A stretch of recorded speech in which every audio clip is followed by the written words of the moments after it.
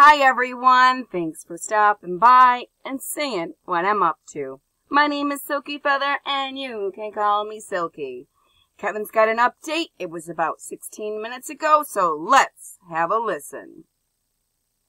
Here's your stimulus check and stimulus package update for August 8th.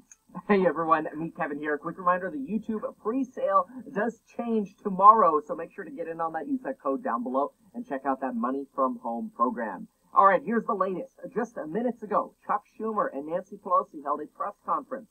This was led by both sides, Mitch McConnell and the Democrats, being interviewed on CNBC. Here's a complete breakdown of what was said and how it integrates with what's going on.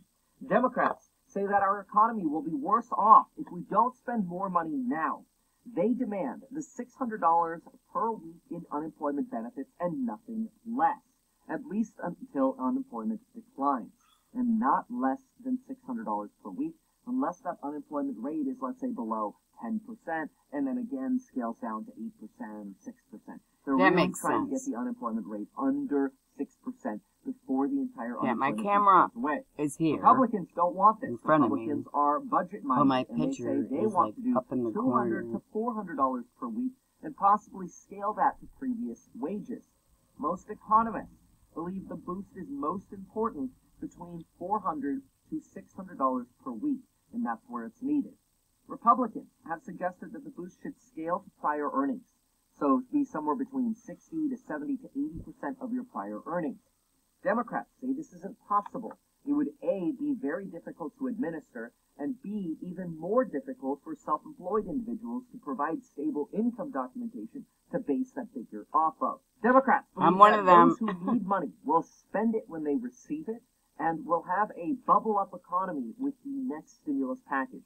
This means giving money to the people so that they could spend it on food, rent, groceries, other necessities, whatever it might be, so that way money goes to the people and then moves up to the corporations and you know, the wealthier Americans.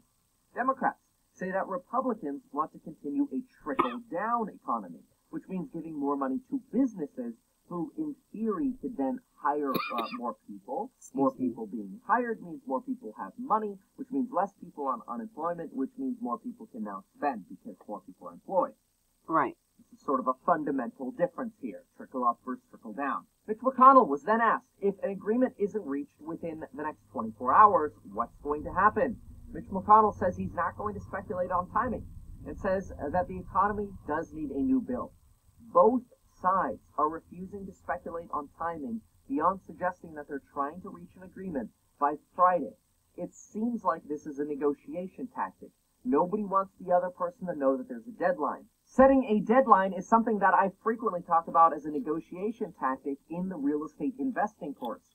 However, it works both ways. Having an open-ended time frame and being willing to walk away from the table can be a very powerful negotiation tactic as well. And right now, it seems literally like both buyer and seller, that is Republicans and Democrats, are willing to walk away from the table. It's gotten so bad that now White House Chief of Staff Mark Meadows says if a deal isn't reached by Friday, he's going to quit. This comes at the same time as Donald Trump threatens unilateral actions on an eviction ban, unemployment, and possibly more, like stimulus checks, but that sounds like a rumor, uh, if there's no action by Friday. Quick reminder, because there's a lot of misinformation on YouTube, I'm seeing this in the comments a lot, and I want to clear it up. There is no real bill right now. Yeah, there's the HEROES Act. Yeah, there's the HEALS Act. But the plan right now is to come up with an agreement by Friday. An agreement could literally be a napkin with a list of priorities. Okay, we got a deal. It's $600. It's $1,200 for stimulus checks, 600 for unemployment, it's 500 billion for state and local government. That's an agreement. The plan right now is just to get an agreement by Friday. But if they miss that date, both sides are saying, whatever, we've got more time. Right. After an agreement is reached, then they actually have to formalize that into a bill. Whether they amend the HEROES Act, whether they amend the HEALS Act, or they come up with an entirely new bill. Absolutely. Either way, that process takes time because you got to get the lobbyists and their typewriters to come in and write the bill for them. So they I'll write all the fucking special bill. interests and loopholes in the bill. You got to have loopholes and special interests, right? That's how our Right. government works. But hey, at least the bills get written for free.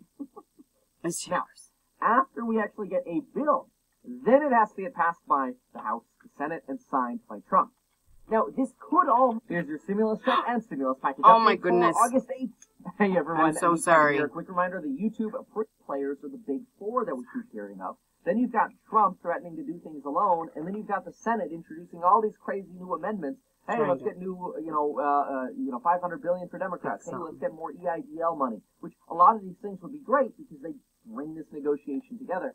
But negotiations are just so scattered right now. It's very frustrating to follow. Democrats also say that you can't have eviction protections and not give money to tenants and people who need help. Otherwise, all you do is kick the can down the road and you end up facing an eviction crisis down the road. People need money to actually stay current. Democrats also argue that Republicans are trying to pinch pennies and that now is not the time to do it. Nancy Pelosi was asked by Jim Cramer on CNBC this morning, why can't we get money for minorities and people who are struggling? She said, quote, you mistook them, meaning Republicans, as someone who gives a damn. Obviously, at this point, it seems like they're just starting to trade insults. Republicans say that Democrats refuse even a temporary bill, which Democrats repeated today when they were bluntly asked by reporters, will you support a temporary extension? And Democrats said no, they will not. They will not support a temporary extension. They want a complete package. That makes sense. Democrats Why would we do for a week? Those in power are usually the ones who suffer when progress is not made, and those in power are Republicans and Trump. And so Democrats know that, and that's why they're digging in. Mitch McConnell says we must be focused on debt. On the PPP, Republicans want businesses whose revenue has declined 50% to be eligible for another round. Democrats want businesses with a revenue decline of 30% to be eligible and want to make it easier for, to measure how businesses' revenue has declined so that more businesses would be eligible. Basically, we're even now having a negotiation on the PPP. Republicans are saying, hey, we want more PPP funding. Democrats want more PPP funding. The Democrats say we want more people to be eligible for that. It literally seems like at every step of this bill, they still have issues. On unemployment, we had 1.2 million jobless claims filed over the last week. That Wow. is the 20th straight week of jobless claims. But we're slowing how many filings we've had. We're now down from 1.4 million filings last week to 1.2 million this week. It's still the 20th straight week over a million jobless claims though, which is bad. Some also now say that many layoffs are now starting to become permanent job loss. Wow. There you have the update for today. Check out that YouTube course. Use that coupon code down below and get in before the free sale is over. Thank you so much for watching and until next time. Thank you guys for stopping by and seeing what I was up to. Please do like, subscribe, and share. This is Silky Feather signing off.